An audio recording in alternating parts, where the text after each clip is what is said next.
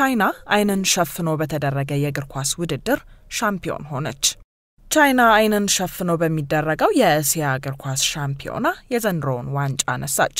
በማሌዥያ ኳላላምፑር በተደረገው ውድድር በመከላከል የሚታወቀውን የኢራን አቻቸውን ሁለት ለዜሮ በመርታት ነው የቻይና ቡድን ሻምፒዮን የሆነው። ቡድኑ የዘንድሮውን ዋንጫ ማንሳቱን ተከትሎ አምስተኛው ዓይንን ሸፍኖ የሚደረግ የእስያ የእግር ኳስ ሻምፒዮን መሆኑን አረጋግጧል። ከዚህ በፊት በፈረንጆቹ 2007 በሴኡል፣ በ2009 በቶኪዮ፣ በ2011 በሴንዳይ እና በ2013 በቤጂንግ የተደረጉ ውድድሮች ዋንጫ ባለቤትም ነው የቻይና ቡድን።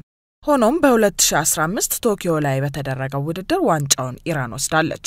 በዘንድሮ ዓይንን ሸፍኖ በሚደረግ የእግር ኳስ ውድድር ታይላንድ ደቡብ ኮሪያን ሁለት ለባዶ በመርታት ሶስተኛ ሆና አጠናቃለች። በውድድሩ ከአንደኛ እስከ አራተኛ የወጡት ቻይና፣ ኢራን፣ ታይላንድ እና ደቡብ ኮሪያ በቀጣይ ዓመት በስፔን ዋና ከተማ ማድሪድ በሚደረገው የዓለም ዓይንን ሸፍኖ የሚደረግ የእግር ኳስ ውድድር በቀጥታ ተሳታፊ ይሆናሉ።